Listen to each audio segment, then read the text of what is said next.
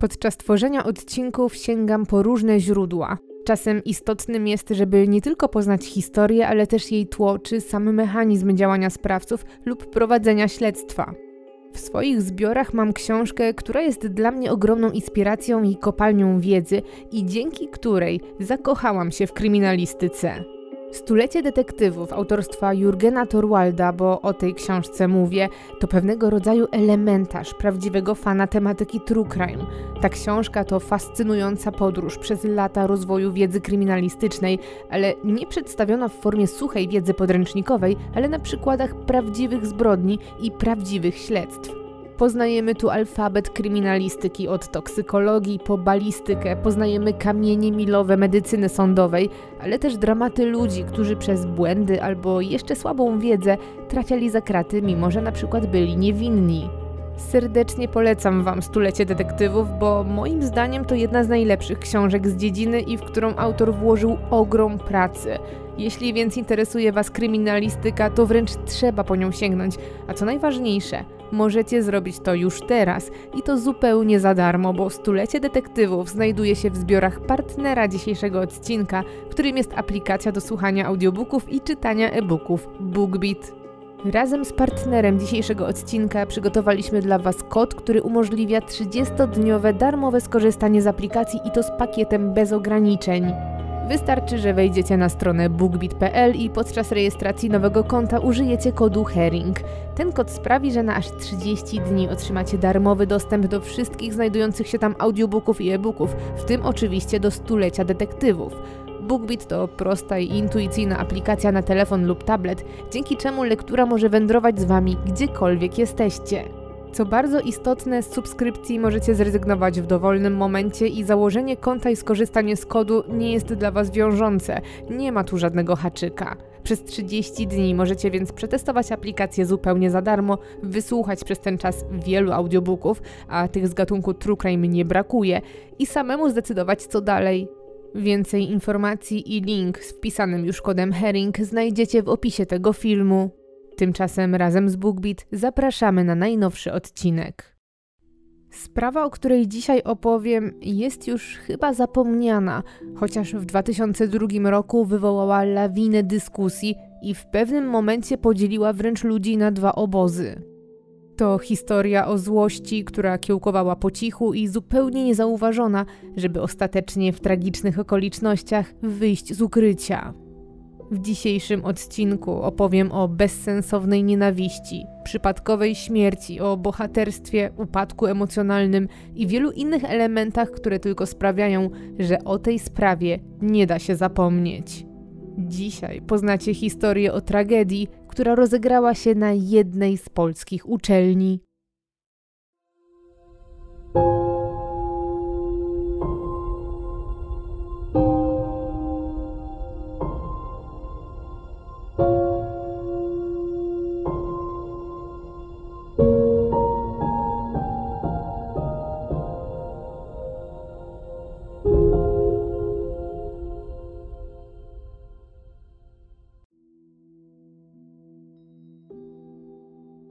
Jest 1999 rok.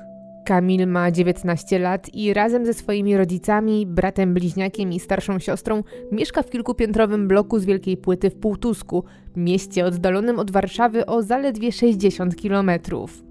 Jest szczupły i wysoki, ma niebieskie oczy, jasną, wręcz bladą cerę i włosy w kolorze ciemnego blondu – na nosie zawsze ma okulary korekcyjne ze względu na wadę wzroku i ubiera się wygodnie i raczej w stonowanych kolorach. Ogólnie zupełnie nie zwraca na siebie uwagi. W domu chłopaka nie brakuje miłości i rodzinnego ciepła, chociaż finansowo nie jest najlepiej. Oboje rodzice już nie pracują, a mama Kamila, była nauczycielka, na dodatek toczy walkę z poważną chorobą, w związku z czym domowy budżet jest już od dłuższego czasu mocno napięty. Kamil jednak jest zaradny i mimo młodego wieku wykorzystuje swój spryt i potrafi zdobyć pieniądze na swoje potrzeby i to w bardzo nietypowy sposób. Już od kilku lat zajmuje się braniem udziału we wszelkiego rodzaju konkursach. Jako siedemnastolatek po raz pierwszy wygrał 100 zł w konkursie miesięcznika Wiedza i Życie i od tamtego czasu regularnie testuje swoje szczęście. Bierze udział w konkursach organizowanych czy to przez inne czasopisma, czy takie, które odbywają się w jego szkole, i trzeba przyznać, że jest w tym naprawdę dobry. Dzieje się tak, bo nie tylko ma dużo szczęścia, ale jest ponadprzeciętnie inteligentny i ma ogromną, nieco encyklopedyczną wiedzę. To wszystko razem pozwala mu często wygrywać i dzięki temu zgarniać różne nagrody pieniężne czy rzeczowe, a dodatkowo po prostu daje mu satysfakcję. Kamil trochę odstaje od reszty swoich rówieśników, bo jest spokojny, wręcz zamknięty w sobie i raczej trzyma się na uboczu. Dla rodziców i nauczycieli jest nastolatkiem idealnym, bo nie sprawia żadnych problemów wychowawczych, stroni od imprez i używek, a każdą wolną chwilę najchętniej spędza w domu, czy to przed komputerem, czy z popularno-naukową gazetą w ręce. Jest typem introwertyka, komputerowca, który nie potrzebuje za bardzo kontaktu ze światem zewnętrznym, ale z drugiej strony jest w nim trochę sprzeczności, bo pomimo swojego wycofania ma też w sobie cechy przywódcze i na przykład nigdy nie kryje się, jeśli coś mu się nie podoba. Jest wręcz na odwrót, jest krytyczny i gdy tylko coś go drażni lub uważa, że jest źle zrobione, zwraca na to uwagę.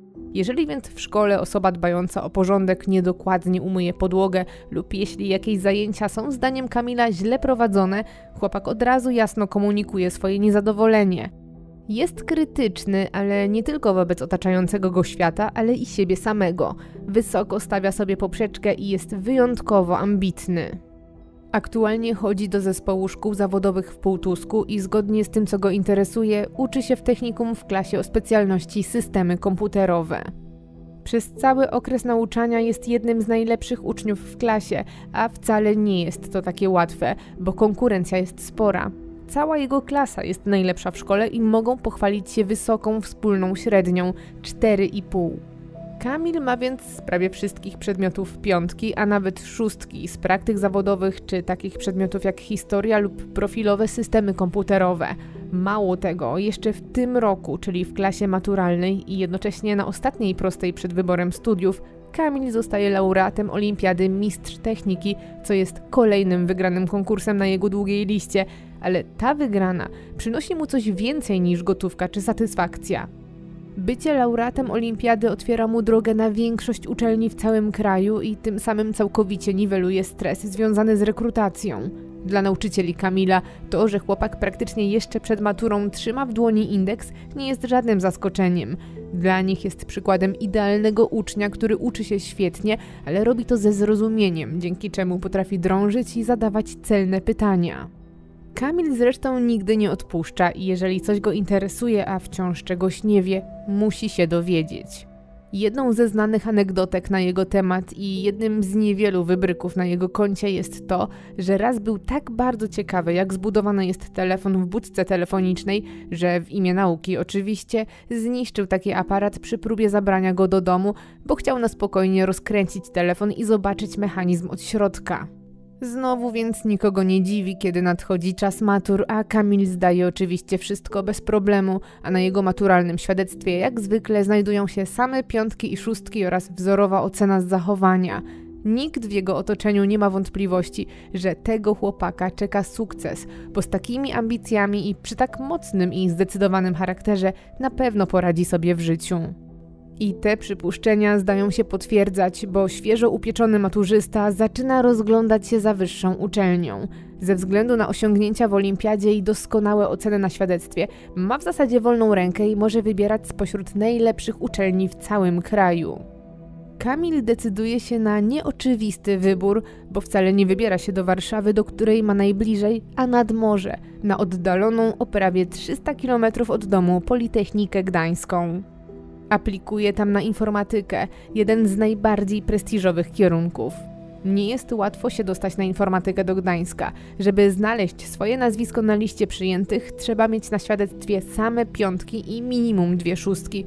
Na 61 możliwych do zdobycia punktów trzeba zebrać w najgorszym wypadku 54,75, co jest najwyższym współczynnikiem na całej Politechnice. O jedno miejsce ubiega się tu aż sześć osób i studia, chociaż uchodzą za wymagające i trudne, to po ich ukończeniu praktycznie dają gwarancję zatrudnienia. Nikogo więc nie dziwi, że Kamil wybiera się właśnie tam, gdzie znajdzie się wśród najlepszych. Mijają wakacje i nadchodzi wrzesień 1999 roku. Kamil już za kilka dni rozpoczyna swoją nową studencką drogę w pięknym mieście i na prestiżowym kierunku, na który dzięki doskonałemu świadectwu i wygranej olimpiadzie dostaje się oczywiście bez problemu.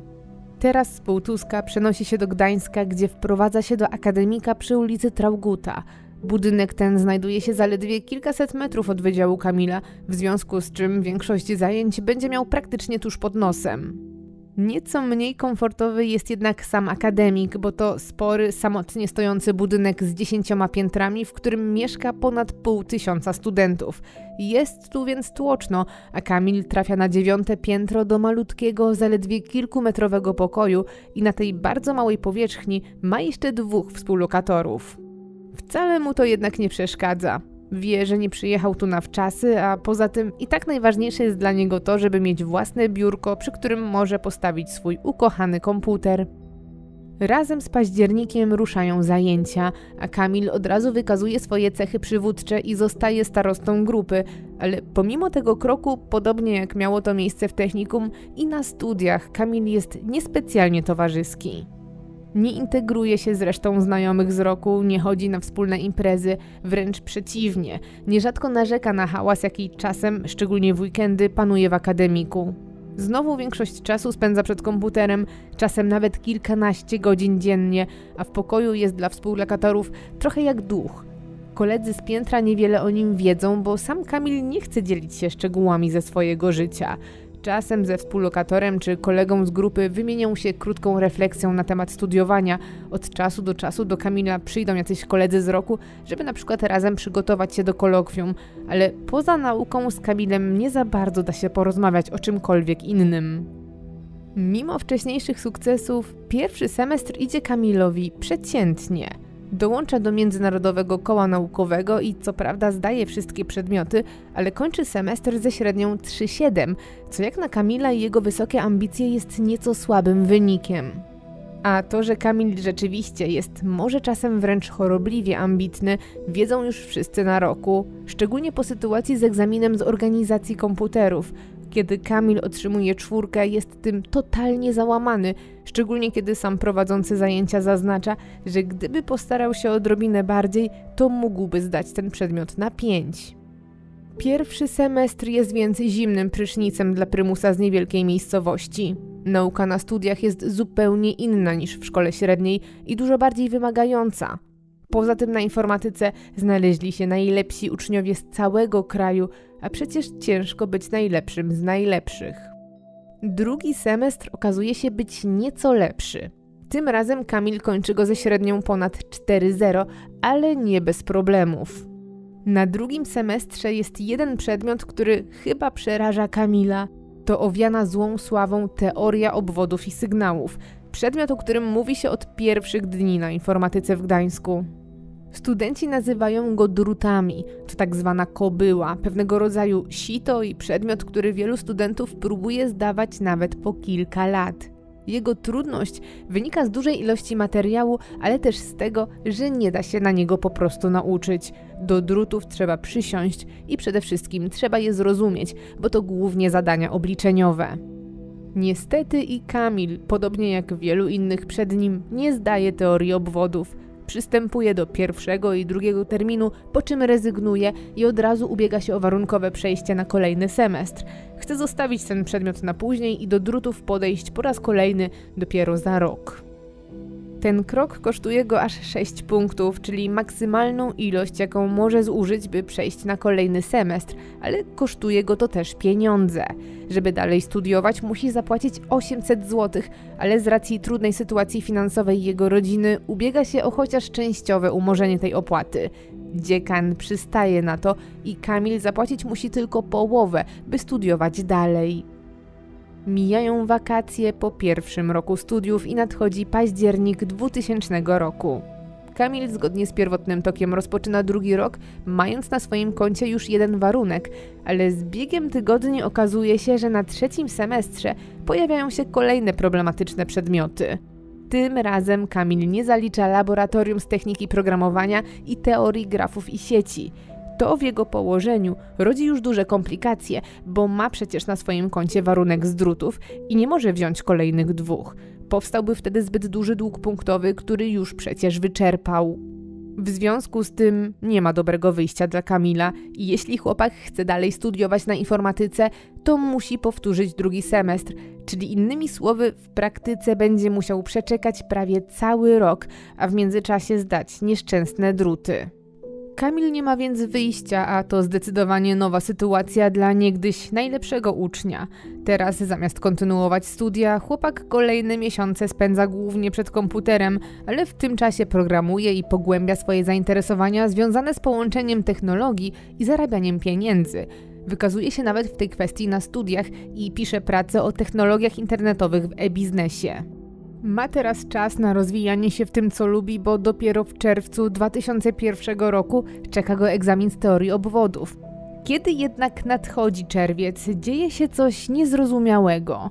Mimo naprawdę dużej ilości czasu na przygotowanie się, Kamil nie zjawia się nawet na pierwszym terminie egzaminu. Podchodzi do zdawania zaległego przedmiotu dopiero po wakacjach i to podczas przedłużonej sesji poprawkowej to nie pomaga, bo ponownie nie zdaje drutów i nie odrabia warunku, co tym razem skutkuje już wykreśleniem go z listy studentów. Ciężko uwierzyć, że ten ambitny młody człowiek, olimpijczyk i jeden z najlepszych uczniów w szkole średniej, teraz tak łatwo traci grunt pod nogami i to z powodu jednego przedmiotu. Kamil jednak nie odpuszcza i chce studiować dalej. Składa podanie o przywrócenie go na listę studentów i możliwość ponownego powtarzania drugiego semestru. Dziekan wyraża zgodę na to, żeby chłopak z Półtuska wrócił na Politechnikę, a nawet z racji kiepskiej sytuacji finansowej rodziny Kamila znowu zgadza się, by wszelkie odpłatności zmniejszyć o połowę. W ten sposób Kamil w październiku 2001 roku ponownie zostaje pierwszakiem. Jako, że na pierwszym semestrze miał wszystko zaliczone i oceny zostały mu przepisane, tym razem wykorzystuje dużą ilość wolnego czasu i zdaje niezaliczony na trzecim semestrze przedmiot z teorii grafów i sieci. Resztę czasu, jak miał to w zwyczaju, spędza przed komputerem. W łudząco podobnych okolicznościach co przy ostatnim powtarzaniu nadchodzi rok 2002 i rozpoczyna się drugi semestr, który zwieńczony jest egzaminem z teorii obwodów. Semestr, który Kamil powtarza już po raz trzeci. Jako, że i tym razem ma przypisane prawie wszystkie oceny, bo za pierwszym podejściem skończył go przecież ze średnią ponad 4,0, Kamil znowu ma dużo wolnego czasu, który oczywiście spędza przed komputerem. Ostatnie miesiące nie były jednak zmarnowane, bo przez ten czas chłopak wdrożył się w tematykę bankowości internetowej i jej działanie pod względem technicznym. Teraz godzinami analizuje oferty, dyskutuje na ten temat z forumowiczami, rozbudza w sobie zainteresowanie finansami i graniem na giełdzie, ale też wraca do swojej dawnej pasji do konkursów. Teraz jednak jego celem nie są już konkursy z czasopism, ale przede wszystkim konkursy internetowe. Kamil wyszukuje różnych możliwości, żeby zdobyć dodatkowe pieniądze i znowu robi to z sukcesem, a przede wszystkim dlatego, że poluje na ciekawe loterie i rozpracowuje, jak je wygrać.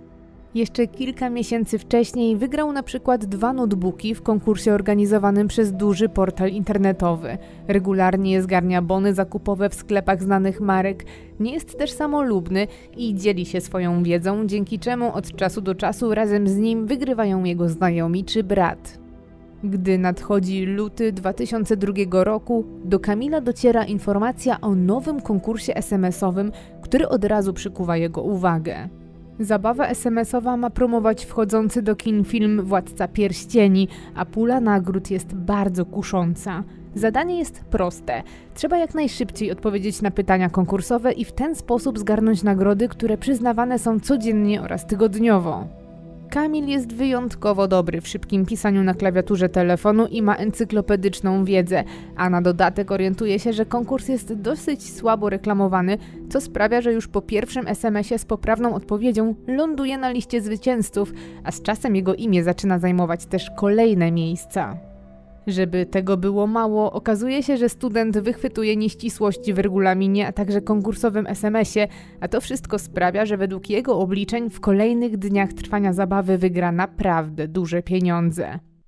Chłopak, czując, że rozbił bank, inwestuje wszystkie swoje oszczędności w płatne SMS-y, wysyła wiadomość za wiadomością i zaciera ręce z radości, kiedy w kolejnych dniach znowu zgarnia prawie całą pulę nagród. Przewidywana przez niego wygrana rośnie do bardzo dużej kwoty, do około 100 tysięcy złotych, aż w końcu konkurs się kończy.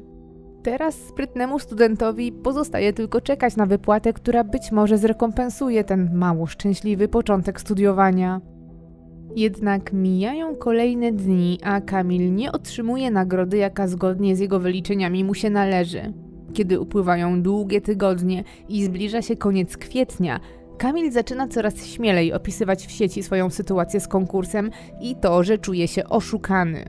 Poświęca każdą wolną chwilę, żeby dyskutować o swoim poczuciu krzywdy i coraz to nowym użytkownikom tłumaczy, na czym polega jego problem. W międzyczasie, poza wylewaniem żali na internetowych forach, chłopak wielokrotnie kontaktuje się z organizatorem konkursu, wymienia z nim całe mnóstwo maili, a nawet wielokrotnie kontaktuje się telefonicznie. Swoją przeprawę częściowo opisuje na forum, którego jest stałym bywalcem, ale też wspomina o stresującej sytuacji kolegom z akademika. Zresztą nie da się nie zauważyć, że w pewnym momencie Kamil, który wcześniej żył tylko nauką, teraz żyje tylko sporem z organizatorem konkursu, który nie zgadza się z punktem widzenia studenta. Kamil spędza więc długie godziny na analizowaniu sytuacji. Poświęca mnóstwo czasu na studiowaniu regulaminu konkursu, na rozmowach z firmami obsługującymi loterię, wertuje kodeks prawny, innymi słowy szuka wszelkich możliwych sposobów, żeby udowodnić swoją rację. Jako, że z natury jest niezwykle dociekliwy, poświęca się temu zajęciu w 100%. Chce nawet zdobyć bilingi, poszukuje też prawnika, który zechce poprowadzić jego sprawę. W walce o swoje poświęca każdą minutę życia. Powoli wręcz zatraca się w tym konflikcie. Wydaje się, że przestaje go interesować cokolwiek innego. Zapomina też, że wielkimi krokami zbliża się przecież egzamin z teorii obwodów i sygnałów, który zaplanowany jest na połowę czerwca. To będzie już trzeci rok, gdy Kamil przystępuje do zaliczenia tego przedmiotu i najwyższy czas, żeby zamknąć ten rozdział. W napiętej i pełnej stresu atmosferze nadchodzi czerwiec 2002 roku. Kamil ciągle nie może pogodzić się z tym, że został, jak twierdzi, oszukany. Zaczyna docierać też do niego, że ma już bardzo mało czasu, żeby przygotować się do egzaminu z drutów. Tym razem obiecał sobie jednak, że do trzech razy sztuka i ma plan, który ma sprawić, że więcej nie będzie sobie zaprzątał głowy tym przedmiotem. W głowie Kamila plan jest tak doskonały, że jeszcze przed egzaminem z pełnym przekonaniem chwali się swoim kolegom z akademika, że tym razem na pewno zda i będzie miał wreszcie z głowy przeklęte druty. Nadchodzi czwartek 13 czerwca 2002 roku to właśnie na dzisiaj wyznaczony jest pierwszy termin egzaminu z teorii obwodów i sygnałów. Piszących dzisiejszy egzamin jest prawie 200 osób, w związku z czym wyznaczono aż trzy sale, na których studenci będą odpowiadać na pytania. Dzięki temu będą mogli usiąść w odstępach, a przeprowadzającym egzamin będzie łatwiej ich przypilnować, żeby nikt nie ściągał. Studenci zostają więc rozdzieleni na dwie sale wykładowe i jedną salę ćwiczeniową. Kamil przypisany zostaje do jednej z sal wykładowych, Audytorium Novum. Na kilkanaście minut przed rozpoczęciem egzaminu studenci pierwszego roku oraz powtarzający przedmiot zaczynają tłoczyć się przed przydzielonymi im salami. Wśród nich jest też Kamil, który tak zwane druty będzie zdawał po raz kolejny z wielu. Kiedy osoby przeprowadzające egzamin otwierają salę, Kamil wchodzi do auli jako jeden z pierwszych i od razu siada w ostatnim rzędzie. Następnie reszta sali wypełnia się studentami, a kiedy wszyscy siedzą już na miejscach, każdy otrzymuje arkusz z pytaniami egzaminacyjnymi i dopiero wtedy na sali zapada absolutna cisza. Większość studentów skupia się na odpowiadaniu na pytania, wyciąga kalkulatory i liczy, jaki prąd płynie w danym obwodzie. W tym samym czasie prowadzący zajęcia dr Czesław przechadza się powolnym krokiem między studentami i pilnuje, żeby nikt nie korzystał z dodatkowych pomocy. W tym samym czasie jego pomocnik, magister Krzysztof, rozpoczyna uzupełnianie listy obecności. Zaczyna od pierwszego rzędu i kolejno podchodzi do każdego z piszących studentów i prosi o podpisanie się przy swoim nazwisku. Ten sposób prowadzący chce mieć pewność, że dany student pojawił się na egzaminie we własnej osobie. Kiedy egzamin trwa i większość z obecnych na sali jest zajęta liczeniem, Kamil wcale nie patrzy w swoją kartkę. Rozgląda się po sali i zauważa przesuwającą się z dolnych rzędów w górę listę obecności. Zwraca też uwagę na to, że drzwi wejściowe do sali wykładowej, jak i te tylne, obok których właśnie siedzi, są otwarte. Jest połowa czerwca. Zarówno na zewnątrz, jak i w środku jest dzisiaj duszno. Otwarte drzwi z obu stron na sali mają poprawić nieco cyrkulację powietrza. Otwarte drzwi cieszą Kamila i bynajmniej nie dlatego, że studentom lepiej się oddycha, a dlatego, że to pomoże zrealizować jego plan. Tak jak deklarował kolegom, tym razem zda egzamin, który prześladuje go już trzeci rok. Ma zamiar zrobić to jednak nie za sprawą swojej wiedzy, a niezbyt uczciwej praktyki. Zanim dociera do niego pomocnik z listą obecności, Kamil ukradkiem wymyka się z sali wykładowej przez otwarte dzisiaj tylne drzwi. Następnie siada na uboczu i poza salą wypełnia arkusz egzaminacyjny, korzystając oczywiście ze wszelkich notatek. Gdy jego arkusz jest już wypełniony, wraca na salę, gdzie ciągle trwa egzamin, ale nie do tej, z której niedawno wyszedł. Tym razem kieruje się do drugiej auli, do której nie był przypisany. Otwiera drzwi, jak gdyby nigdy nic, udaje spóźnionego. Ma plan. Liczy, że zostanie przyjęty na salę i że podłoży przed chwilą napisany egzamin. Dzieje się jednak coś, czego Kamil nie przewidział. Doktor, który pilnuje studentów w tej sali, zatrzymuje chłopaka na wejściu i chce najpierw sprawdzić, czy ten mocno spóźniony student na pewno jest na liście osób, które mają zdawać właśnie tutaj. Kamil jest ewidentnie zaskoczony takim obrotem sytuacji i od razu przyznaje się, że przydzielony jest do drugiej sali wykładowej, być może licząc, że za szczerość zostanie już wpuszczony tutaj, ale doktor drąży i chce poznać dane Kamila. Pyta o jego imię i nazwisko, ale nie otrzymuje odpowiedzi, bo Kamil wręcz wybiega z sali na korytarz, nie przedstawiając się. Do studenta zaczyna teraz docierać, że cenny czas ucieka i że musi postawić wszystko na jedną kartę. Wraca więc do audytorium nowum, które opuścił tylnymi drzwiami. Ponownie staje pod nimi i wyczekuje odpowiedniego momentu. W czasie, gdy tworzy się zamieszanie, bo niektórzy studenci wstają i oddają swoje prace, Kamil korzysta z chwili nieuwagi, wślizguje się na aulę i na ostatnią ławkę, którą niedawno opuścił, podrzuca uzupełniony i podpisany arkusz egzaminacyjny.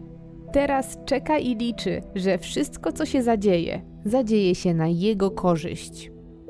Egzamin ciągle trwa, a między studentami po sali wykładowej spaceruje prowadzący zajęcia dr Czesław, który zauważa, że na ostatniej ławce samotnie leży jakaś zapisana kartka. Mężczyzna pyta piszących obok studentów, czy należy do nich, ale ci zaprzeczają i na dodatek nie wiedzą skąd się tu wzięła.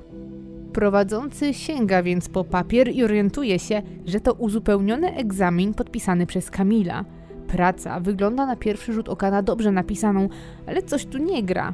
Dlaczego kartka leży tutaj, chociaż nigdzie nie ma jej właściciela?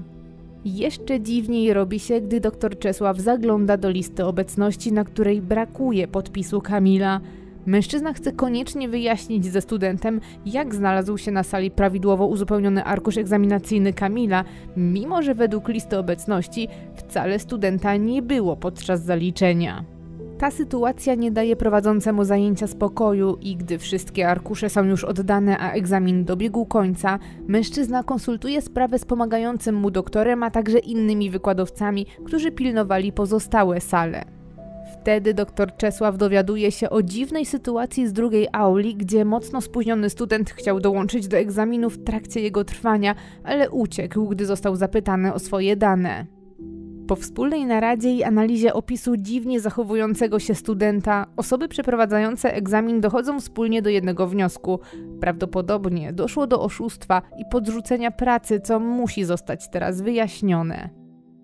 W tym samym czasie, kiedy tajemniczy egzamin jest przedmiotem dyskusji prowadzących, Kamil wraca do akademika i wydaje się, że jest przekonany, że jego plan się powiódł. Chwali się kolegom z akademika, że tym razem wreszcie zdał nieszczęsny egzamin.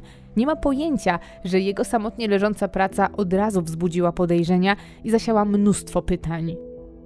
Kamil, spokojny i przekonany, że zaraz zaczyna wakacje, szybko zapomina o stresie związanym z zaliczeniem. Zasiada do komputera i ponownie całkowicie poświęca się sprawie swojego sporu z firmą organizującą konkurs.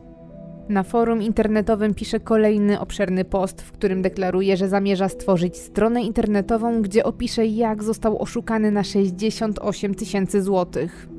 Zapewnia, że skrupulatnie zbierał wszystkie dowody, które liczą ponad 200 stron wymienionych maili i 4 godziny rozmów telefonicznych. Dopytuje innych forumowiczów, czy ewentualna publikacja zebranych przez niego danych może mu zaszkodzić. W swoich postach żali się też, że został wprowadzony w błąd przez prawnika i podpisał z firmą organizującą konkurs oświadczenie, w którym zrzekł się dalszych roszczeń. Poście zaznacza, że podpisał dokument, bo jak twierdzi, potrzebował w tamtym momencie pieniędzy na poprowadzenie sprawy sądowej. Teraz jednak chce unieważnić swoje oświadczenie i dalej walczyć o swoje, ale dowiedział się, że może się to nie udać. Do późnego wieczora po egzaminie pochłonięty jest sprawą, która ciągnie się już od kilku miesięcy i szybko zapomina, że wciąż walczy przecież o być albo nie być na studiach. W końcu jednak kończy internetowe dyskusje i pakuje swoje rzeczy, a kolejnego dnia, 14 czerwca w piątek, zabiera ze sobą komputer, resztę rzeczy nadaje pocztą i rusza pociągiem do Półtuska. Na dłużej w Gdańsku ma zamiar pojawić się dopiero z początkiem kolejnego semestru, który ma nadzieję zacząć już bez żadnego warunku. W domu rodzinnym nie zostaje jednak zbyt długo, bo wciąż nie wie na jaką ocenę zdał teorię obwodów. Dlatego gdy nadchodzi poniedziałek 17 czerwca, Kamil pojawia się z powrotem w akademiku i tam czeka na wieści związane z egzaminem. Zamiast nich z samego rana dociera jednak do niego mail i to bynajmniej niezwiązany z uczelnią. W skrzynce Kamila już od 8 rano czeka odpowiedź na kolejną już jego reklamację na przebieg konkursu. Wiadomość ta wyprowadza Kamila z równowagi i od razu publikuje ją na forum. Firma odnosi się w mailu do jego roszczeń i zaznacza, że nie była organizatorem akcji promocyjnej, w związku z czym nie może odpowiadać za jakieś nieścisłości, a za ewentualne nagłośnienie i podanie do publicznej wiadomości nieprawdziwych informacji mogą spotkać Kamila przykre konsekwencje. Mijają jednak dwa dni i wreszcie myśli Kamila zostają odciągnięte od SMS-owego konkursu, bo nadchodzi dzień wyników egzaminu. Jest 19 czerwca 2002 roku. To środa i 6 dni po egzaminie. Właśnie dzisiaj z samego rana na szóstym piętrze w budynku Politechniki Gdańskiej przy ulicy Siedleckiej prowadzący zajęcia z teorii obwodów dr Czesław wywiesza w gablocie przed swoim pokojem listę z wynikami egzaminu. Na liście widnieją nazwiska 196 studentów, a zaledwie przy 84 nazwiskach znajduje się pozytywna ocena. 24 osoby mają zostać dopytane ustnie, a 88 osób zdawać musi jeszcze raz. Okazuje się też, że wśród tych 24 osób, które nie zdały, ale które mają być dopytane, jest też Kamil. Poniżej listy z ocenami znajduje się dodatkowo krótka notatka. Doktor Czesław informuje w niej, że o 14 tego samego dnia będzie czekał na starostów w swoim pokoju, żeby ustalić kolejne terminy egzaminu dla tych, którzy nie zdali. Był to w końcu pierwszy termin i na kolejne podejścia jest jeszcze czas. Od wywieszenia wyników mija kilka godzin. Co chwilę jakiś student staje pod gablotą i z nadzieją szuka przy swoim nazwisku pozytywnej oceny. Już za kilkanaście minut wybije czternasta i nadejdzie czas konsultacji ze starostami grup. W tym samym czasie na uczelni zjawia się też Kamil i kieruje się do dziekanatu, gdzie załatwia kilka spraw. Następnie wjeżdża na szóste piętro i wchodzi w długi korytarz, w którym mieści się katedra teorii obwodów i układów. Następnie kieruje się pod pokój numer 646. To tu mieści się gabinet doktora Czesława, który dzieli z pracownikiem inżynieryjno-technicznym, magistrem Krzysztofem, tym samym zresztą, który pomagał podczas egzaminu i sprawdzał obecność. Kamil szybko orientuje się, że mimo wyznaczonej godziny konsultacji nikogo ze studentów nie ma u doktora. Jest tylko on i pan Krzysztof, który pracuje przed komputerem. Kamil wchodzi więc do środka. Jest tu, by wyjaśnić sytuację, dlaczego jego egzamin nie został oceniony pozytywnie i skąd literka U przy jego nazwisku. Był przekonany, że doktor oceni jego pracę pozytywnie i jest zdziwiony, że tak się nie stało. Student nalega też, by doktor pokazał mu jego pracę i wskazał, co jest źle. Nie dowierza, że nie zdał, skoro wykonał wszystkie obliczenia. Doktor Czesław wyjmuje pracę Kamila i od razu orientuje się, że to właśnie ten egzamin, który samotnie leżał na ostatniej ławce. Nim jednak prowadzący zarzuci cokolwiek studentowi, postanawia sprawdzić swoje wcześniejsze podejrzenia i wychodzi ze swojego gabinetu i idzie do pokoju obok, gdzie przebywa jego kolega po fachu, który w dniu egzaminu pilnował drugiej sali wykładowej. Prosi kolegę, by ten poszedł z nim na chwilę i rzucił tylko okiem na studenta, który przyszedł dyskutować o swoim egzaminie. W ten sposób doktor chce się upewnić, czy to właśnie on próbował w połowie zaliczenia wejść na nie swoją salę. Mężczyzna z pokoju obok bez trudu rozpoznaje Kamila i wraca do siebie. Tym samym potwierdza to, co doktor przypuszczał już od samego początku. Kamil podrzucił gotowca. Pokoju ponownie zostają doktor Czesław, Kamil i magister Krzysztof, który jest jednak zajęty własnymi sprawami.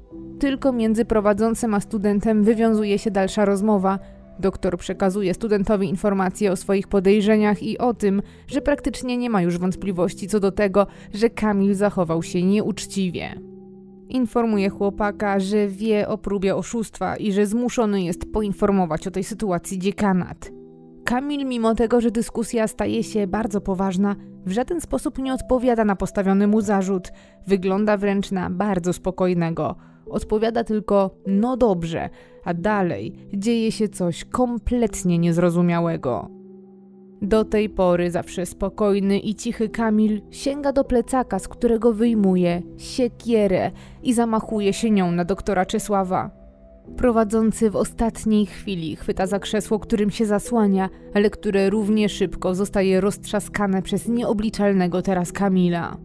Student nie odpuszcza i bierze kolejny zamach, a na ratunek zaatakowanemu doktorowi od razu rzuca się magister Krzysztof, który dzieli z nim pokój. Chce odciągnąć studenta od zaatakowanego, ale wtedy złość przekierowana zostaje na niego i pan Krzysztof otrzymuje bardzo silne ciosy w głowę, które od razu powalają go na ziemię. Doktor Czesław, przerażony tym, co się dzieje, woła o pomoc i próbuje uciec przed kolejnym atakiem, ale student jest w amoku i nic go nie powstrzymuje. Trafia swojego prowadzącego w szyję, głowę i ramię i wcale nie chce na tym poprzestać. Wszystko dzieje się w ekspresowym tempie.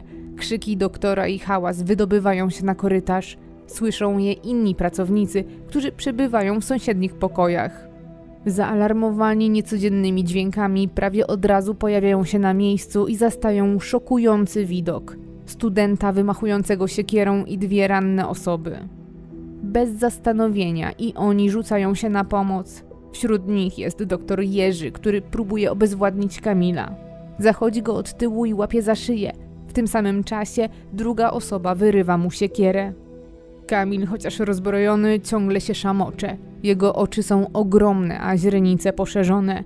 Ciągle próbuje walczyć, ale nie ma już szans. Zostaje obezwładniony, a pracownicy, którzy przybyli na pomoc, wspólnie związują go kablami od komputerów. Dookoła panuje chaos. Nikt nie wie, co dalej robić. Ktoś jednak wzywa ochronę, która pilnuje budynku, kto inny dzwoni na pogotowie i na policję. Pod uczelnię w zaledwie kilka minut podjeżdżają policyjne radiowozy i aż cztery karetki pogotowia. Funkcjonariusze i medycy ruszają na szóste piętro, a widok, jaki tam zastają, jest wstrząsający. Niewielki gabinet jest zdemolowany. Biurko i krzesło są roztrzaskane.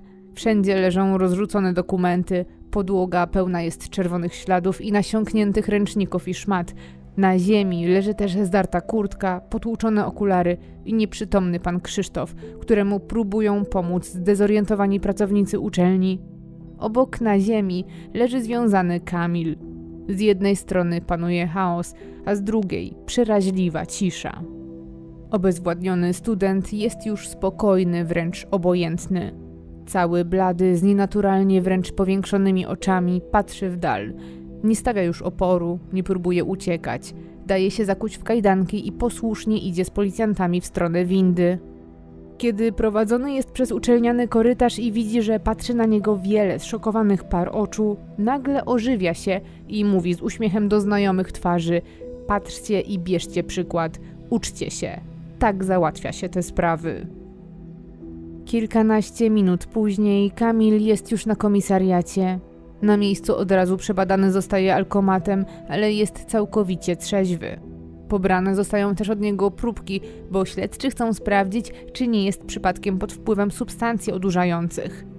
Następnie Kamil zostaje doprowadzony na przesłuchanie, ale od kiedy opuścił budynek uczelni, milczy jak zaklęty. Nie odpowiada na żadne pytania, nie wydaje żadnego dźwięku, patrzy prosto przed siebie i popada w apację. Tym samym czasie pan Krzysztof, który bohatersko rzucił się na pomoc zaatakowanemu koledze, w stanie krytycznym zostaje przetransportowany do kliniki chirurgii urazowej Akademii Medycznej w Gdańsku, gdzie od razu trafia na stół operacyjny.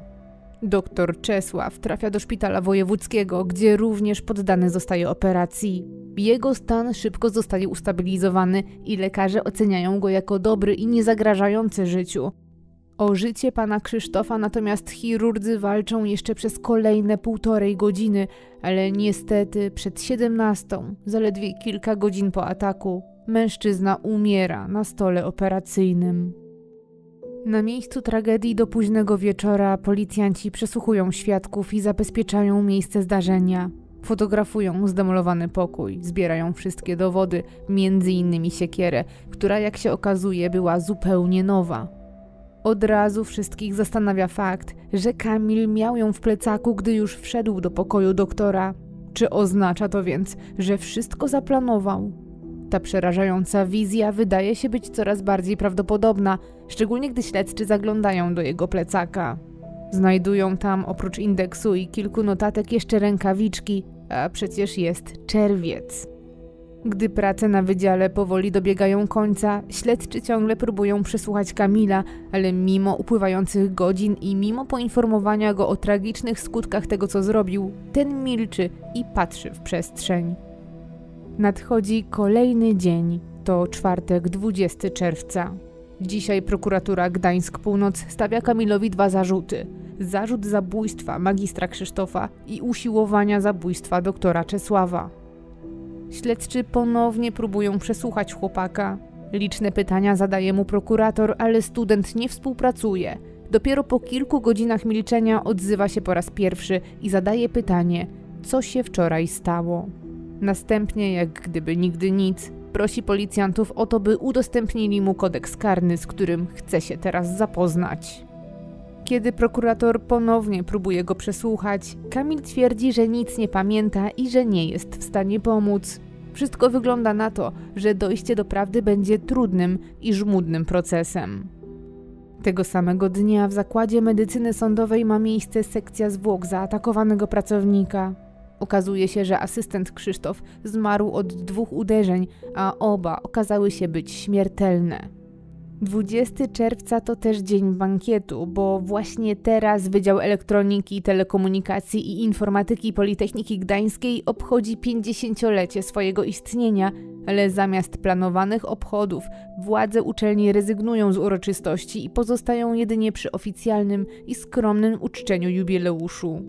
To pięćdziesięciolecie zostanie zapamiętane na długo i zupełnie inaczej niż tego chciano. Nadchodzi kolejny dzień i dzisiaj zapada decyzja o tymczasowym aresztowaniu Kamila. Student zostaje przetransportowany do aresztu śledczego w Malborku, gdzie będzie oczekiwał na koniec śledztwa, a potem na swój proces. Gdy śledczy analizują przebieg wydarzeń, a na uczelni powoli opadają emocje, w sieci dopiero zaczyna wrzeć. Fora internetowe i sekcje komentarzy pod artykułami zalewa fala wiadomości. Historia ataku studenta na prowadzącego wywołuje liczne dyskusje, w których pojawiają się wręcz skrajne głosy na temat tego, co się stało.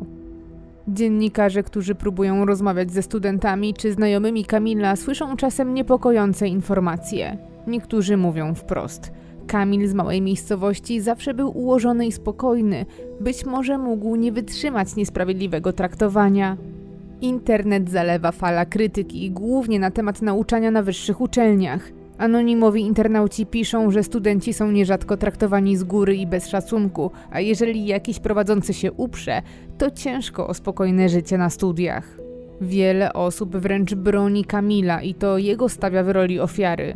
Sugerują, że chłopak nie wytrzymał ogromnej presji i nadmiaru wymagań. Piszą, że mogło to spotkać każdego.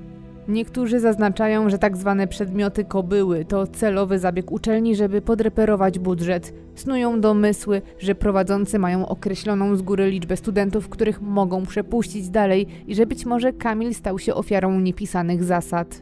W dyskusji wypowiadają się studenci z całego kraju. Pojawiają się też głosy studentów z Politechniki, którzy sami wspominają o swojej przeprawie z drutami i dzielą się refleksjami na temat nauczania na ich wydziale. Nie ma wątpliwości, że te głosy zwracają uwagę śledczych i wszystkich tych, którzy obserwują sprawę. Teraz należy sprawdzić, ile prawdy jest w tych anonimowych głosach i czy przyczyny tragedii rzeczywiście należy szukać w murach Politechniki. W związku z licznymi wątpliwościami i chęcią zrozumienia tego, co się stało, równolegle do pracy śledczych ze swoim śledztwem rusza Politechnika. W tym celu powołana zostaje komisja nadzwyczajna, której zadaniem jest zbadanie okoliczności tej tragedii. Składa się na nią czterech pracowników wydziału, ale też dwóch studentów, żeby opinia nie była stronnicza. Grupa wybranych przedstawicieli skrupulatnie gromadzi zeznania świadków, analizuje co się stało minuta po minucie, bada przebieg egzaminu i sposób egzaminowania przez doktora Czesława. Szuka też informacji na temat samego Kamila. Szybko okazuje się, że chociaż teoria obwodów rzeczywiście sieje wśród studentów strach i uchodzi za trudny przedmiot, to takich odczuć nikt nie ma do samego prowadzącego doktora Czesława.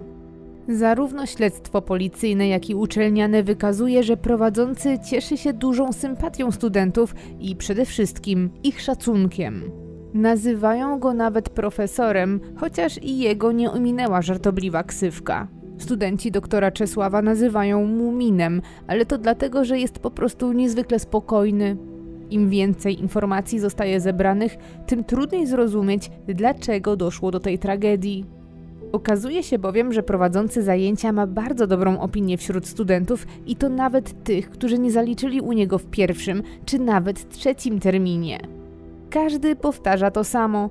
Przedmiot jest rzeczywiście trudny i trzeba go zrozumieć, jednak sam doktor nigdy nie sprawiał nikomu trudności, a wręcz przeciwnie.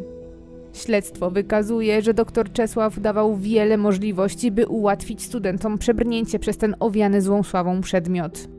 Przede wszystkim umożliwiał studentom zbieranie przez cały semestr dodatkowych punktów dzięki aktywności na wykładach i ćwiczeniach.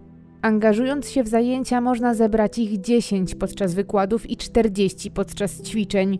Jeżeli komuś bardzo zależało, był w stanie zaliczyć przedmiot, nie zdobywając nawet ani jednego punktu na egzaminie.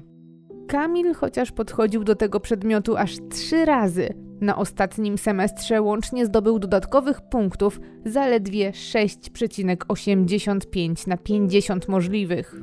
Okazuje się też, że podczas trwania ostatniego semestru w ogóle nie przykładał się do tego przedmiotu.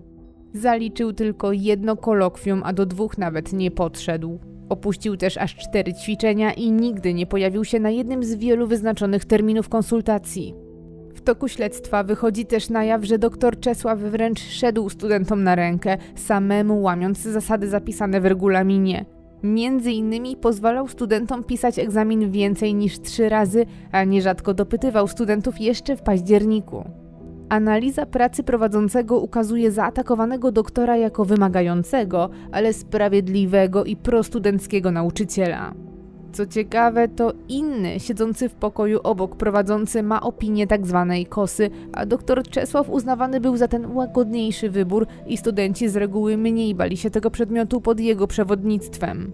Jedyne, co łączy doktora Czesława z tym bardziej surowym prowadzącym, to fakt, że nie toleruje on nieczystych praktyk i jeżeli Kamil rzeczywiście podłożył gotowca, to w tym wypadku nie byłoby dla niego taryfy ulgowej. To, co odkrywa komisja nadzwyczajna i śledczy, da się wyczuć na samej uczelni. Pod pokojem, gdzie doszło do ataku, jeden ze studentów stawia wazon z białymi liliami, a w gablocie na liście z wynikami obok nazwiska Kamila pojawia się dopisek morderca. Przed wydziałem do flagi przypięta zostaje czarna wstęga i nikt nie jest w nastroju do rozmów, a sytuacji nie poprawiają ciągle pojawiający się dziennikarze. Także w sieci głosy popierające Kamila są coraz częściej ostro krytykowane przez studentów, którzy mieli do czynienia z doktorem Czesławem. Nie brakuje takich komentarzy jak ten, który napisał użytkownik o niku Opat. Również jestem studentem informatyki. Druty może i są ciężkie, ale w wydaniu dla elektroników. Informatycy mają je tylko przez jeden semestr. Wykłady prowadzi właśnie dr Czesław. Znam go, bo z nim miałem ten przedmiot. Egzamin i jakiekolwiek zaliczenie u tego pana nie były większym problemem. Doktor zawsze dawał wiele szans i nie stwarzał problemów. Jak się postarać, to można było zaliczyć ten przedmiot na ćwiczeniach. Poza tym doktor zawsze ułatwiał studentom zdobycie punktów, które później doliczał do wyniku z egzaminu. Na terminie poprawkowym pojawiały się zazwyczaj zadania z terminu zerowego i pierwszego, czasem bez zmian w treści, a czasem schemat rozwiązania pozostawał ten sam, tylko inne były dane. Nie uważam tego przedmiotu za jakiś super lekki, ale nieprawdą jest, że nauka na tydzień przed egzaminem nie przynosi efektów. Inny użytkownik pisze: Jak duża część roku miałem druty w plecy po pierwszym terminie. Studenci informatyki wiedzą dobrze, materiał trudny, dla dużej części z nas zupełnie nowy. Wrześniowy termin to też niestety porażka, ale na szczęście zostałem dopuszczony do dopytu. Ten dopyt to jeden z najlepszych egzaminów w moim życiu.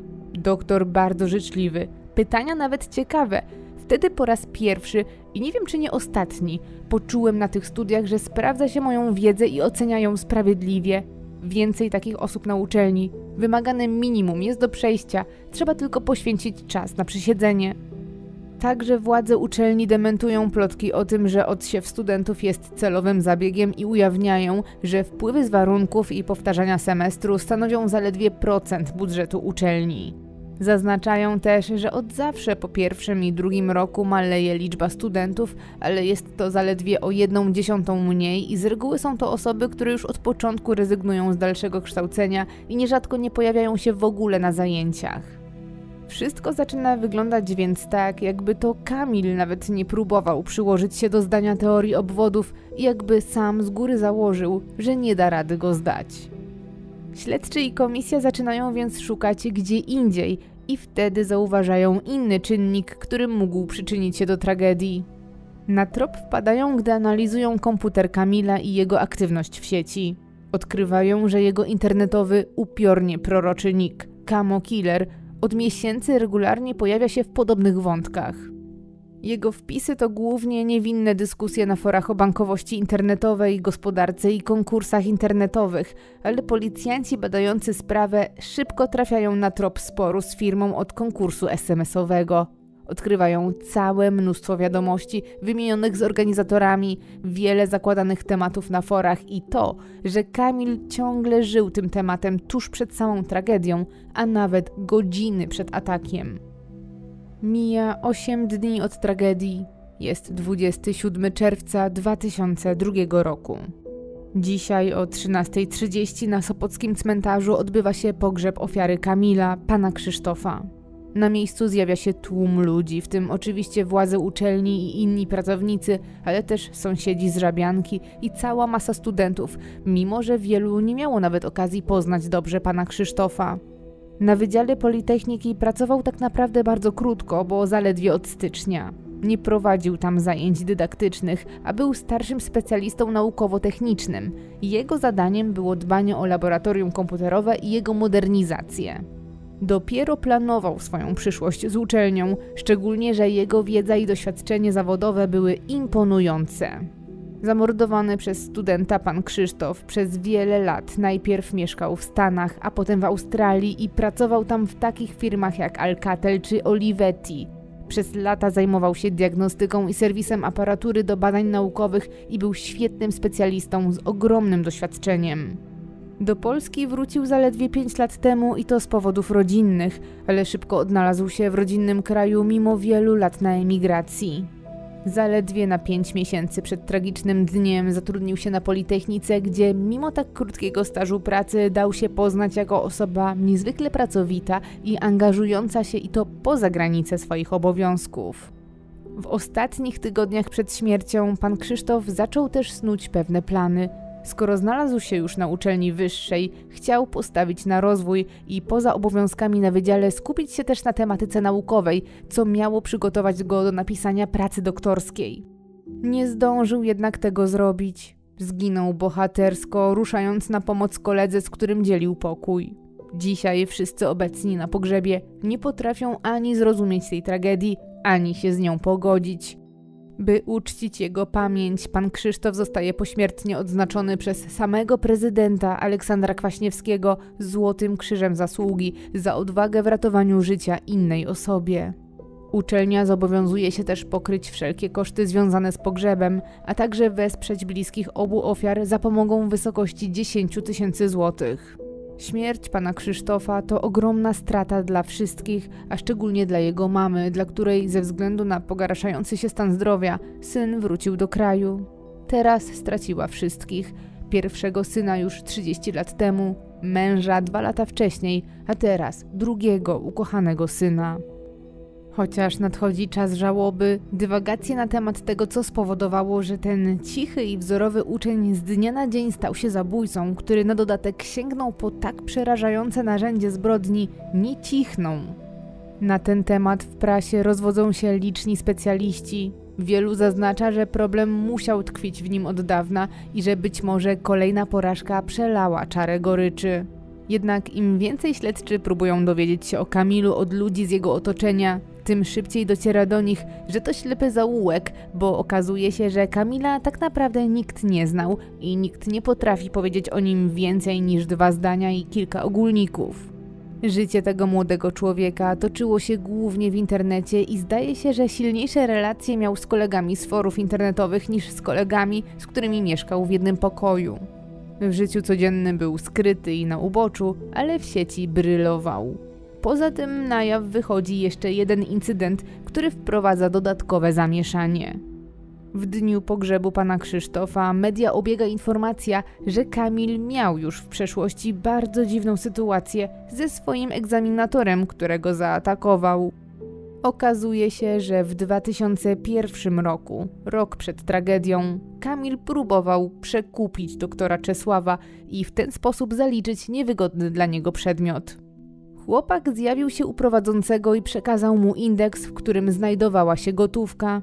Doktor odmówił jednak przyjęcia pieniędzy, ale nikogo nie powiadomił o tej sytuacji, zapewne zdając sobie sprawę, że zgłoszenie tego skończyłoby się dla Kamila wydaleniem z uczelni.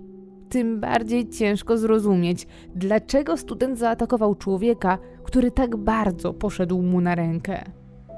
Do nikogo nie dociera, że Kamil rzeczywiście chciał zrobić komuś krzywdę. Zastanawiają się, że być może nie był wtedy sobą, ale z laboratorium przychodzą wyniki badań, które mówią jasno: chłopak nie był ani pod wpływem alkoholu, ani pod wpływem substancji odurzających. Był całkowicie trzeźwy w chwili zdarzenia. Oczy ze zdziwienia przecierają jego sąsiedzi, dawni nauczyciele czy znajomi z technikum. Są zdziwieni w zasadzie wszystkim na temat tej sprawy, od sięgnięcia po siekierę, aż po taką z pozoru drobnostkę jak zarzut na temat ściągania. Kamil przecież zawsze zdawał wszystko na piątkę i nie musiał w tym celu oszukiwać. Nigdy nie posuwał się do takich praktyk. Czy więc coś nagle się zmieniło, czy może tak naprawdę nikt go nie znał? Te pytania zadaje sobie każdy, w tym bliscy Kamila, którzy trwają przy nim, chociaż nie mają prostego zadania. Od tragedii usilnie próbują zobaczyć się z chłopakiem, ale nie otrzymują zgody na widzenie. Dzieje się tak, ponieważ zarówno rodzice Kamila, jak i jego brat są świadkami w sprawie i dopóki nie złożą swoich zeznań przed sądem, nie będą mogli zobaczyć bliskiej sobie osoby. W czasie, gdy pytania ciągle się mnożą, a dyskusje nie cichną, Kamil przebywa w areszcie w Malborku i oczekuje na obserwację psychiatryczną, bo bardzo istotne jest, żeby przebadać go pod kątem ewentualnych chorób psychicznych. W związku z podejrzeniem, że za atak może odpowiadać choroba, chłopak trafia na obserwację do szpitala w Szczecinie, a psychiatrzy i psycholodzy próbują z nim rozmawiać i dotrzeć do studenta. Pojawia się jednak ogromny problem, bo Kamil, podobnie jak miało to miejsce podczas przesłuchań z prokuratorem i policją, zupełnie nie współpracuje. Nie odpowiada na pytania, nie angażuje się w pracę specjalistów i jest obojętny na to, co się wokół niego dzieje. Śledztwo musi więc toczyć się dalej, a na wszystkie trudne pytania odpowiedzieć trzeba będzie bez udziału sprawcy. Mijają długie miesiące i nadchodzi luty 2003 roku. To 7 miesięcy od tragedii. Śledztwo zostaje wreszcie zakończone, a do Sądu Okręgowego w Gdańsku wpływa akt oskarżenia. Proces ruszy więc prawdopodobnie już za moment i być może uda się go rozpocząć jeszcze w kwietniu 2003 roku. Jednak gdy nadchodzi kwiecień, Okazuje się, że na proces trzeba będzie poczekać jeszcze trochę, a stoją za tym wręcz sensacyjne powody. Właśnie teraz wychodzi na jaw, że podczas półrocznej obserwacji psychiatrycznej Kamil został poddany licznym badaniom, w tym także badaniom obrazowym głowy, które ujawniły, że w jego mózgu znajduje się guz. Czy więc spokojny i ułożony Kamil mógł dokonać zbrodni nie z powodu zemsty czy załamania nerwowego, a z powodu ciężkiej choroby? Według specjalistów nie jest to wykluczone i guz mógł mieć wpływ na zachowanie studenta. Informacja o chorobie jest więc z jednej strony niepokojąca, z drugiej wiele by tłumaczyła, a z punktu widzenia obrony Kamila będzie to istotny element podczas procesu i nie ma wątpliwości, że ta wiedza zostanie wykorzystana na sali sądowej. Gdyby obrońcom udało się udowodnić, że Kamil w chwili popełnienia zbrodni był całkowicie niepoczytalny, to nie trafi za kratki, a na leczenie do szpitala psychiatrycznego.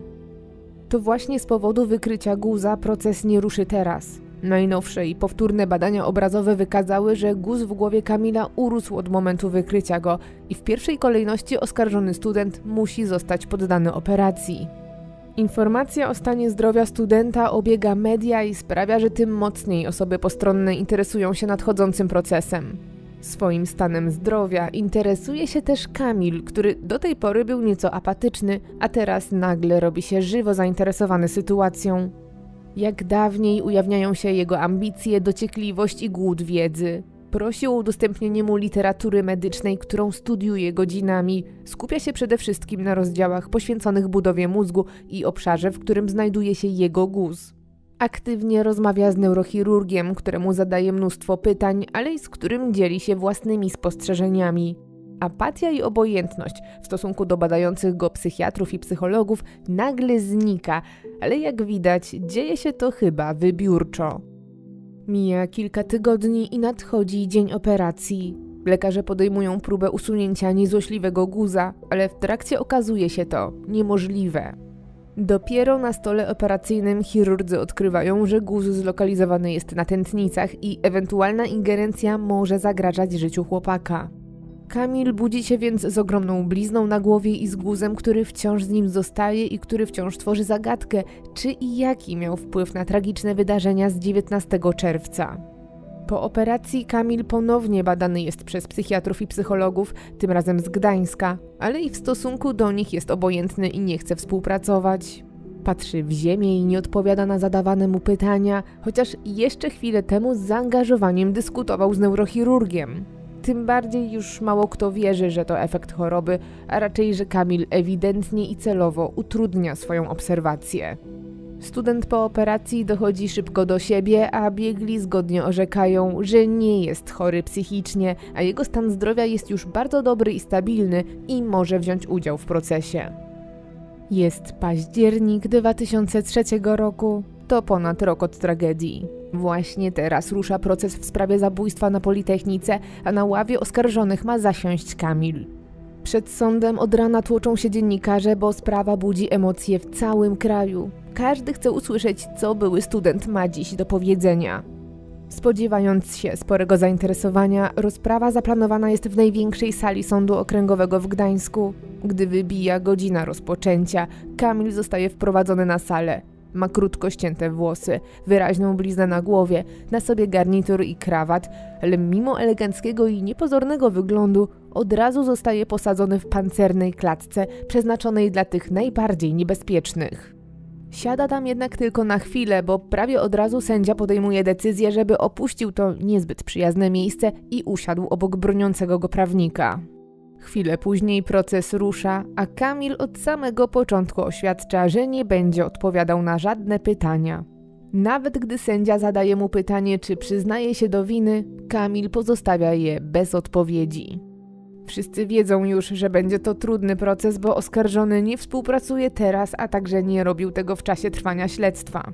I wtedy nie odpowiadał na zadawane mu pytania. Zainteresowany był jedynie procedurami prawnymi i raz tylko zapytał, jakie obrażenia miał pan Krzysztof. O ile nie ma wątpliwości, że to Kamil zaatakował pracowników uczelni, to wciąż nie rozstrzygnięto, w jakim stopniu ponosi odpowiedzialność za swój czyn. To wszystko dopiero odbędzie się właśnie na tej sali sądowej, a w ustaleniu prawdy pomoże 38 świadków biorących udział w procesie. Od początku trwania procesu Kamil na sali sądowej zachowuje się obojętnie i wręcz sprawia wrażenie, jakby to nie jego dotyczyło wszystko, co się dzieje. Jest nieobecny, nierzadko wygląda, jakby nawet nie słuchał, ale czasem jednak się odzywa, szczególnie kiedy ktoś powie coś, co mu się nie spodoba. Tak dzieje się na przykład, gdy kierownik sekretariatu nazywa go studentem niskiego pułapu. Wtedy Kamil od razu się obrusza i manifestuje swoje niezadowolenie z nazywania go w ten sposób. Zawsze jednak są to reakcje na nieistotne słowa i osobiste przytyki. Poza takimi momentami Kamil w żaden sposób nie reaguje nawet na dramatyczne opisy, jakie padają przecież na tej sali. Proces trwa już od trzech miesięcy i nadchodzi 5 stycznia 2004 roku. Dzisiaj pojawia się obawa, że będzie trwał dłużej niż przewidywano. Okazuje się bowiem, że Kamil napisał do Sądu Okręgowego w Gdańsku pismo, w którym składa zażalenie na swojego prawnika, twierdząc, że ten nie wywiązuje się ze swoich obowiązków. W liście zaznacza, że nie chce nowego obrońcy z urzędu i w dalszym etapie procesu będzie bronił się sam. Swoje emocjonalne pismo kończy zdaniem, że niepotrzebny mu kolejny nierób i darmozjad, a wszystko to dzisiaj na głos odczytuje sąd. Jak się jednak okazuje, wniosek Kamila jest niemożliwy do zrealizowania i po odczytaniu pisma sędzia tłumaczy oskarżonemu, że ciążą na nim tak poważne zarzuty, że z tego powodu nie może bronić się sam i musi mieć swojego obrońcę. Zaznacza też, że powołanie nowego prawnika znacząco wszystko opóźni i sprawi jedynie, że wyrok zapadnie później. Kamil o dziwo bierze sobie do serca te słowa, a jego bojowe nastawienie nieco się studzi, Przyznaje, że pismo pisał pod wpływem emocji i teraz chce się wycofać ze swojej prośby. Te słowa sprawiają, że wszyscy oddychają z ulgą, bo każdy marzy, żeby tylko zamknąć jak najszybciej tę przykrą sprawę. Ale znowu wcale się na to nie zanosi, bo na wniosek obrońcy Kamila oskarżony ponownie trafia pod opiekę specjalistów i poddany zostaje obserwacji na oddziale psychiatrii sądowej w Szczecinie, to jedno z sześciu takich miejsc w całym kraju, gdzie specjaliści pod lupę biorą tych najgroźniejszych przestępców. Dzieje się tak, ponieważ w dalszym ciągu toczy się batalia o poczytalność Kamila. Obrona chce skorzystać z każdej możliwości, by wykazać, że to przez obecność guza chłopak był całkowicie niepoczytalny. Taka opinia biegłych zapewniłaby mu to, że nie trafi do więzienia, a na leczenie. Proces nie skończy się więc jeszcze wiosną, na co liczyło wielu, a najprędzej jesienią. Jednak gdy nadchodzi jesień i tym razem wszystkich zaangażowanych w sprawę czeka ogromne rozczarowanie, jakiego nikt się nie spodziewał. Równo rok od rozpoczęcia procesu i na prawie samym jego końcu okazuje się, że wszystko było na marne i proces musi rozpocząć się od nowa. Okazuje się, że jeden z sędziów, członek składu orzekającego, został przyłapany na jeździe pod wpływem alkoholu, w związku z czym został zawieszony w czynnościach. W takim wypadku procedury są bezlitosne i nie ma innej możliwości niż rozpoczęcie całego procesu od nowa z nowym i kompletnym składem orzekającym. Innymi słowy, oznacza to, że kilkudziesięciu zeznających do tej pory świadków i biegłych musi stanąć przed sądem i odpowiedzieć na te same pytania po raz kolejny, a także powtórzone muszą zostać wszelkie czynności procesowe. To szok dla wszystkich, a szczególnie dla poszkodowanego i bliskich ofiary śmiertelnej. Cudzy błąd i bezlitosne procedury nie tylko wszystko wydłużą, ale rozdrapią rany na nowo. W związku z tym, w październiku 2004 roku, Kamil zamiast kończyć swój proces, zaczyna być sądzony w sprawie o zabójstwo i usiłowanie zabójstwa po raz drugi. Przez kolejne miesiące w Sądzie Okręgowym w Gdańsku toczy się więc rozprawa za rozprawą, żeby wszystko zakończyło się możliwie szybko. Takie nadzieje przynosi styczeń 2005 roku, kiedy rzeczywiście wydaje się, że proces już naprawdę powoli dobiega końca. Co ciekawe, w nowym roku na salę sądową Kamil nie wchodzi już elegancko ubrany jak do tej pory, a skuty w kajdanki i ubrany w pomarańczowy strój mający swoim ostrzegawczym kolorem, zaznaczyć, że to niebezpieczny więzień. Okazuje się, że ten niegdyś cichy student w areszcie sprawia niemałe problemy. Między innymi próbował odebrać sobie życie, ale też wielokrotnie atakował więziennych strażników i groził współosadzonym. Na sali sądowej jest jednak potulny i większość czasu, jak to już zawsze miało miejsce, spędza z nosem w kodeksie karnym lub patrząc w ziemię. Wciąż przedłużający się proces i jaskrawy uniform to jednak nie koniec niespodzianek na dzisiaj, bo okazuje się, że biegły z dziedziny psychiatrii, który miał przedstawić opinię zespołu neurologów z Polskiej Akademii Nauk, nie dotrze do sądu i tym samym najważniejszy element procesu, ocena poczytalności Kamila, wciąż pozostaje niejasna. Kiedy sąd przedstawia te rozczarowujące informacje, nie wytrzymuje mama pana Krzysztofa, śmiertelnej ofiary Kamila. Kobieta zmęczona przedłużającym się procesem pyta dzisiaj oskarżonego wprost, dlaczego zabił jej syna. Kamil, ku zaskoczeniu wszystkich, nie milczy tym razem i bez emocji pyta zrozpaczoną kobietę, czy jeżeli kierowca zasłabnie za kierownicą i spowoduje w ten sposób wypadek, w którym ktoś straci życie, to czy zdoła odpowiedzieć na pytanie, dlaczego to zrobił? Tym pytaniem na pytanie Kamil daje jasno do zrozumienia, że nie czuje się odpowiedzialny za to, co się stało. Dalszy ciąg rozprawy budzi jeszcze więcej emocji, szczególnie przez coraz bardziej aroganckie zachowanie oskarżonego. Między innymi przytoczony zostaje list Kamila do sądu, w którym chłopak wnioskuje o to, żeby zakończyć już przesłuchiwanie świadków, bo jak podkreśla, ich słowa są bezużyteczne, bo na ich wypowiedzi wpływają media i opinia publiczna. Sam też zabiera głos i zdradza przed sądem, że liczy jednak na to, że zostanie uznany za poczytalnego, bo w przeciwnym wypadku spędzi życie w szpitalu psychiatrycznym jako, jak to mówi, roślinka, sugerując tym samym, że byłoby to dla niego mniej wygodne rozwiązanie. Dla obserwatorów, ale i dla składu orzekającego, zachowanie Kamila to nie tylko przejaw wyrachowania, ale też oznaka, że oskarżony wciąż nic nie robi sobie z tego, że odebrał życie i w dalszym ciągu najważniejszy jest dla niego tylko jego interes i jego wygoda, z czym nawet się już nie kryje. Nadchodzi kwiecień 2005 roku. Wreszcie przed sąd dociera biegły neurochirurg z Akademii Medycznej w Warszawie i przedstawia skrupulatnie stworzoną opinię na temat poczytalności Kamila. Biegli określili, że Kamila cechuje wygórowane poczucie krzywdy, że łatwo go urazić i że czuje się niedoceniany, a przy tym słabo kontroluje swoje emocje. Z opinii przedstawionej przez neurochirurga wynika też jasno, że oskarżony doskonale wie, co zrobił i nie ma wątpliwości, że zabił świadomie i że na pewno nie stało się to, jak sugerowała obrona, pod wpływem ataku padaczkowego. Specjalista podkreśla, że chociaż wykryto u oskarżonego guz w mózgu, to przecież wszystko jasno wskazuje, że jego działanie było zaplanowane. Kamil do gabinetu prowadzącego wszedł już z siekierą w plecaku. O tym, że kontrolował co robi według specjalistów świadczy też to, że odprowadzany przez ochronę wykrzykiwał do innych studentów, by brali z niego przykład. Brak luk w pamięci i zaplanowane działania nie świadczą o niepoczytalności. Mimo wszystko biegli ustalili, że oskarżony ze względu na obecność guza mógł mieć ograniczoną możliwość rozpoznawania czynu, ale nie jest to jednoznaczne z całkowitym zniesieniem poczytalności.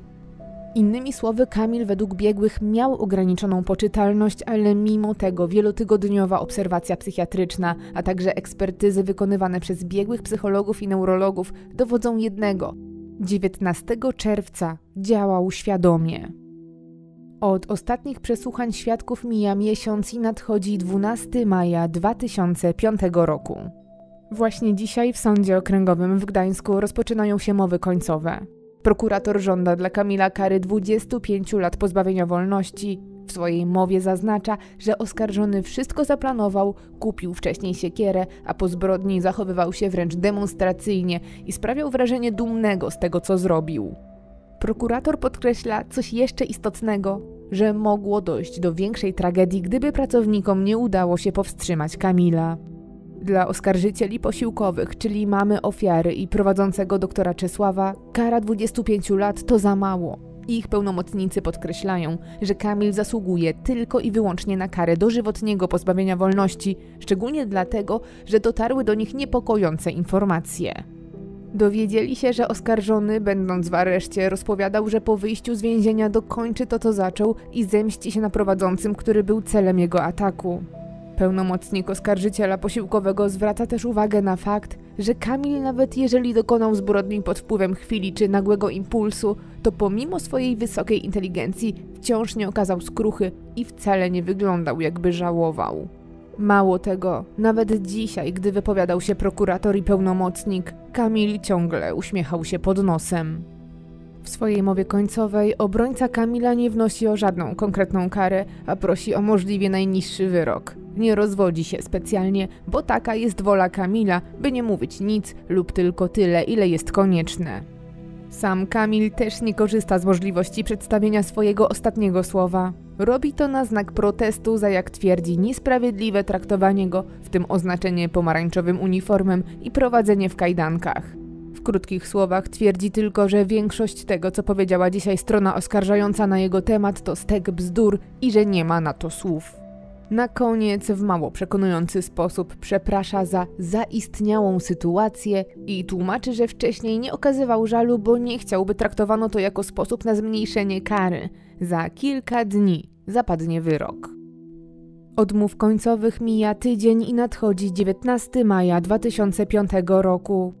Właśnie dzisiaj zapada długo wyczekiwany wyrok w tym pełnym niespodzianek procesie.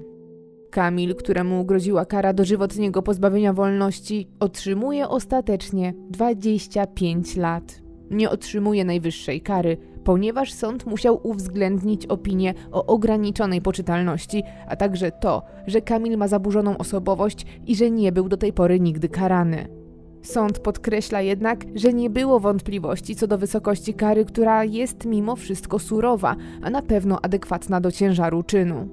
W uzasadnieniu sędzia zaznacza, że oskarżony żyje w pogardzie dla obowiązującego porządku publicznego i w opinii sądu działał z premedytacją.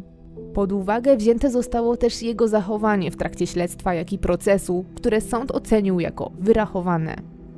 Kamil tego, że ćwierć wieku spędzi za kratami, wysłuchuje bez żadnych emocji. Na sali sądowej panuje cisza, a jego tata w milczeniu ociera łzy. Po ogłoszeniu wyroku emocje jednak biorą górę, a swojego rozczarowania nie kryje dr Czesław, prowadzący zajęcia, który był celem Kamila. Mężczyzna podkreśla, że domagał się, by student spędził całe życie za kratami, a teraz, gdy wie, że tak się nie stanie, po prostu boi się o swoje życie i życie swoich bliskich. W końcu były student kiedyś wyjdzie na wolność, a w areszcie Kamil zapowiadał, że chce dokończyć dzieła. Siedem miesięcy później, 7 grudnia, w sądzie apelacyjnym w Gdańsku rozpoczyna się proces apelacyjny, który wnieśli bliscy magistra Krzysztofa, a także zaatakowany dr Czesław.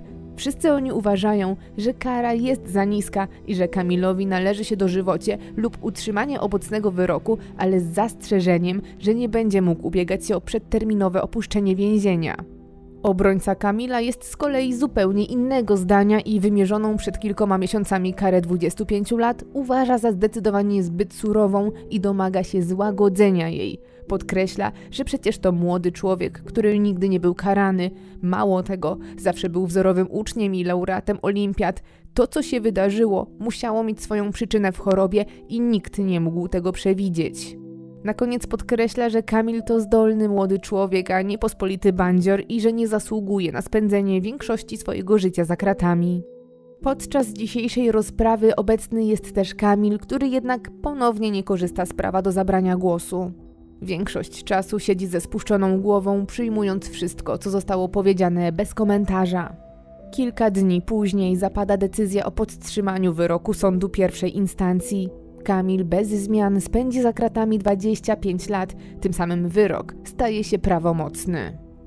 Mama zamordowanego pana Krzysztofa mówi, że wreszcie ten koszmar się skończył i że wewnątrz może i zdoła przebaczyć Kamilowi, ale kara mu się należy.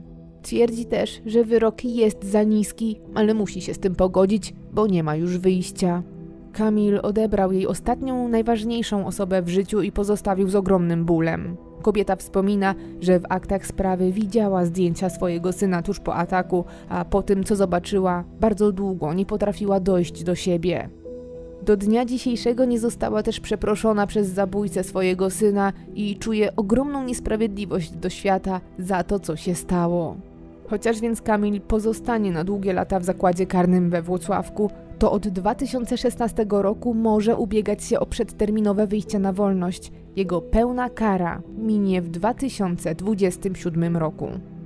Sprawa zabójstwa na Politechnice wywołała liczne dyskusje, bo chociaż ostatecznie nie rozstrzygnięto, co tak naprawdę skłoniło Kamila do tak bezdusznego i okrutnego czynu, to bez względu na jego powód, ludzie zaczęli zastanawiać się, czy wszystko działa prawidłowo, szczególnie w komunikacji między studentami i nauczycielami akademickimi.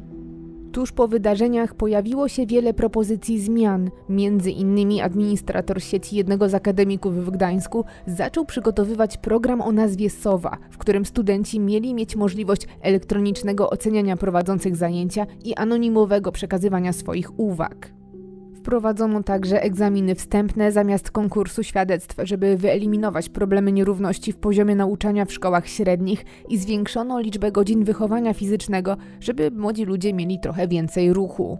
Rok po tragedii na Politechnice Gdańskiej nastąpiły zmiany. Zmieniły się władze dziekańskie, ostatecznie z przyczyn biurokratycznych nie powstała SOWA, a z planu zajęć zniknął przedmiot teoria obwodów. Zagadnienia co prawda pozostały, ale zostały dołączone do innych przedmiotów, gdzie nowi wykładowcy ze swoją nową, świeżą koncepcją mieli przekazać je studentom.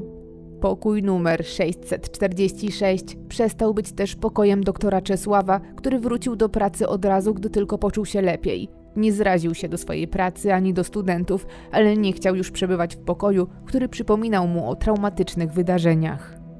Kamil nigdy nie odpowiedział, dlaczego chciał tamtego dnia odebrać życie prowadzącemu zajęcia. Pewnym jest, że nie był ofiarą nękania i niesprawiedliwego traktowania. Pozostały więc tylko domysły, dlaczego to zrobił. Prawdopodobnym jest, że z jakiegoś powodu miał blokadę przed owianym złą sławą przedmiotem, w związku z czym nawet nie próbował go zdać i szukał każdego możliwego sposobu, żeby zaliczyć go bez uczenia się.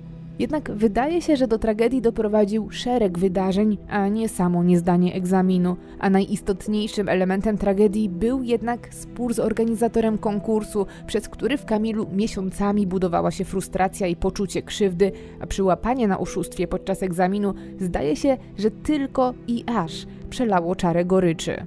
Nie ma usprawiedliwienia na to, co zrobił Kamil. Nie ma też sensu w jego działaniu, bo ciężko sobie wyobrazić, co w ogóle chciał osiągnąć. Być może po fakcie sam Kamil nie byłby w stanie logicznie wszystkiego wyjaśnić i być może właśnie dlatego wybrał milczenie. Dzisiaj od tragedii na Politechnice Gdańskiej minęło już ponad 20 lat, a o niektórych przykrych sytuacjach czasem chcemy zapomnieć, ponieważ są bolesne. W tym jednak wypadku należy i trzeba pamiętać o panu Krzysztofie i o tym, że poświęcił swoje życie, by ratować kolegę. Mimo ogromnego niebezpieczeństwa nie wahał się. Porzucił strach i ruszył na pomoc osobie w śmiertelnym zagrożeniu. Za to należy mu się pamięć, cześć i chwila naszej zadumy. Razem z partnerem dzisiejszego odcinka, aplikacją do słuchania audiobooków i czytania e-booków BookBeat, dziękujemy za wysłuchanie. Link z wpisanym już kodem Herring, który da Wam darmowy 30-dniowy dostęp do aplikacji z pakietem bez limitu, znajdziecie w opisie tego filmu. Jeżeli chcesz wesprzeć moją twórczość, zapraszam Cię na patronite.pl ukośnik Olga Herring, a także na moje media społecznościowe, szczególnie na mój Instagram. Wszystkie linki znajdziesz w opisie tego filmu. Będzie mi też bardzo miło, jeżeli zechcesz subskrybować mój kanał. Dzięki temu nie przegapisz kolejnych odcinków. Dziękuję też wszystkim moim patronom. Ten odcinek dedykuję właśnie Wam.